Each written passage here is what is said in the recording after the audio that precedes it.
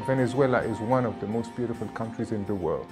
What is even more striking is that this country has so much natural resources. It's one of the richest country in the world.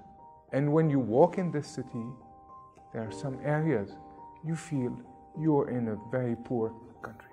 So you wonder, where all this money, where did it go? What happened?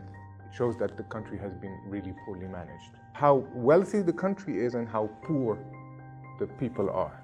It's not anymore a, a, a local crisis. Not even, it's not even a regional crisis. And now it's a global crisis. We're now stuck in a situation where most of the international community is backing one side and the army is backing another side. And if the government collapses, you get into a situation of chaos and further suffering. At the end of the day, the people of Venezuela are the ones paying the price. It's not the opposition or the government, it's the people. To some extent, in a cynical way, the sanctions are actually helping the, the government.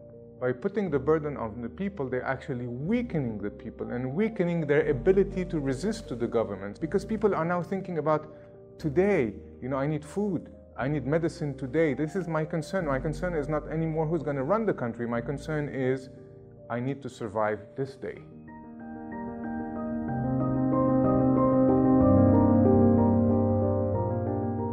Crisis Group is one of the very few organizations that is able to talk to the highest level of the government and the highest level of the opposition. As a result, I think we are and we have been trying to see how those different stakeholders can come to some kind of dialogue, whether directly or indirectly.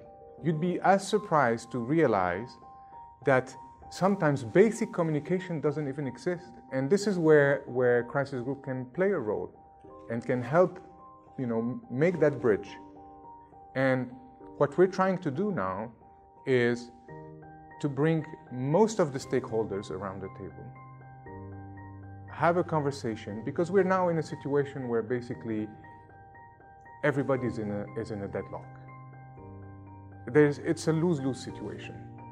There's no winners. So this is the perfect time for people to agree to sit around the table.